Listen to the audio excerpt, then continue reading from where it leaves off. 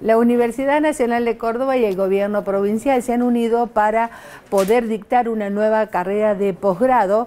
Se trata de una especialización en cuencas hidrográficas. En esto actúan conjuntamente la Facultad de Ciencias Exactas Físicas y Naturales, la de Ciencias Económicas y la de Ciencias Agropecuarias. Comenzará a dictarse ahora mismo en el segundo semestre. Además, también van a intervenir algunos ministerios de la provincia. ¿Cuál es el objetivo? Evidentemente, formar personal idóneo para que puedan actuar en estas cuencas. Vemos el momento del acto.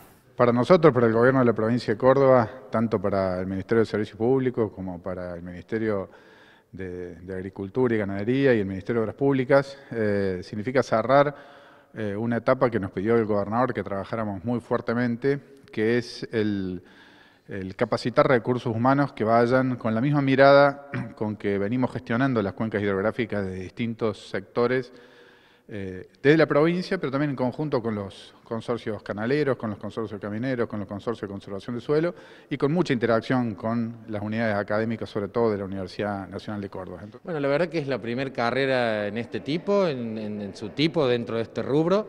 Eh, por ser multidisciplinaria e interinstitucional en un tema realmente complejo como es el abordaje de las cuencas, que no solo impacta en la cuestión de la agropecuaria, sino que tiene que ver con las obras civiles, lo que es la comunicación y con lo que es el crecimiento de las poblaciones urbanas. Entonces se mezcla lo urbano, lo rural en el manejo de estas cuencas que muchas veces traen consecuencias en lo urbano y otras veces en lo urbano y lo rural o en lo rural solamente para nuestra facultad es muy importante, primero porque tenemos nosotros un grupo importante de gente que se ha formado, sobre todo en el área de ingeniería civil, en hidráulica, y que están trabajando en el manejo de cuencas hidrográficas, entonces todo ese conocimiento tiene que ser volcado a la comunidad y qué mejor que el motivo por el cual se haga esto sea una necesidad, como es la gestión de las problemáticas que se presentan en el caso de inundaciones o sequías. Festejamos la firma de este convenio marco que posibilita que los recursos humanos de vialidad provincial que está bajo la órbita del Ministerio de Obras Públicas puedan capacitarse